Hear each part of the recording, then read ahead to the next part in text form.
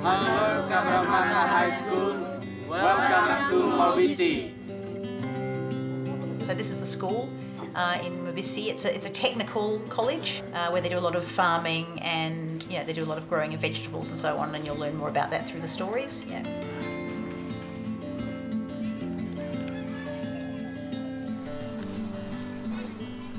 There are 10 students there doing the project. Yeah, no, very different kind of setup than, than Australian schools. No, no computers. Uh, a few of them have had have phones, but most of the students, uh, none of them have used cameras. Datang, en like, datang harap kamera. Kolega sira husi Australia, hakar aprende quando va a Timor, tamba eh, Australia o Timor vele iha diferente. Oke, hakara katu High School tenser hatene kata iha Timor Leste buat. Tamba Timor Leste ema aprende malu hadomi hadomi malu nomos belle uh, contenti hamutu iha moris. Eva here was part of the very first first Foto Friendship. Eva, what did you learn when you when you got the pictures back from Australia when you were involved in Foto Friendship? What did you like seeing? What was interesting? Yeah, I was really interested to see because education in, in my country in Australia is really different. And I see a lot of kids like they have computer in their classrooms and a lot of advice. But in my country, like there's only just only table and chair.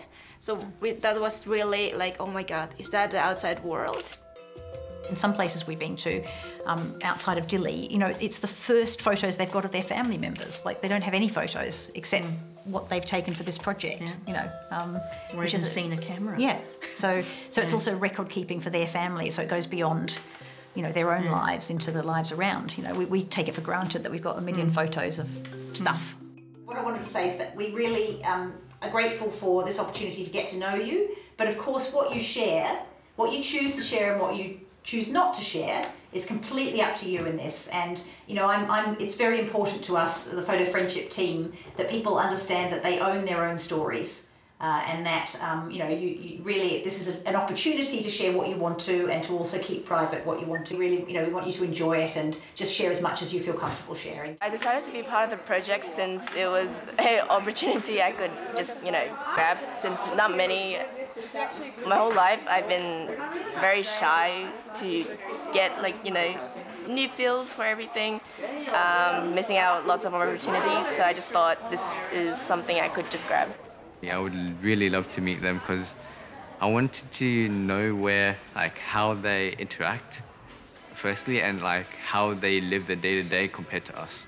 I wanted to be able to connect with the people from East Timor. I don't know much about East Timor, so I wanted to, you know, to get um, an aspect of their lifestyle and like how they live and stuff. We can both learn something from each other. If you go to Dili and you compare it to Sydney, it's a very poor place. But then if you go from the districts and compare the districts to Dili, there's another divide as well.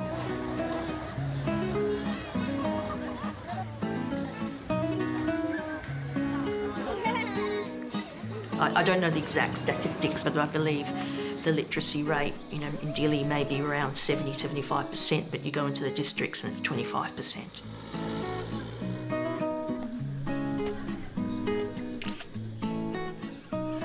Got so many stories to tell, but not the means to tell it.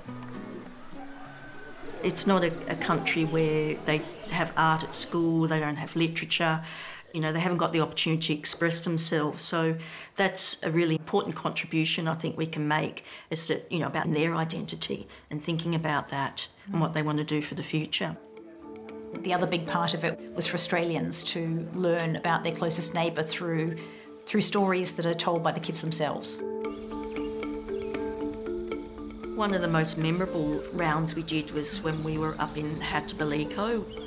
You couldn't get more isolated. It's right up in the middle of Timor, up, up at the foot of the highest mountain. Actually, it's so high it gets cold there in the evening. You know, so it's a very poor community. They're all subsistence farmers. The kids in the school, often some of them were walking two hours to school each way. We give them the cameras. We didn't know what was, you know, going to come back. One of the most powerful ones I remember both of us were like. Remember the one of the um, somebody's grandfather that was lying down and couldn't uh, he couldn't walk. He's just laying there to get him to a hospital because nobody's got cars. They'd have to carry him for, for, for four hours to get to a hospital. But what, what was also very special is I could have gone to their house, but I wouldn't have got those photos because why they got that intimacy is because they're taking the photos themselves of their families.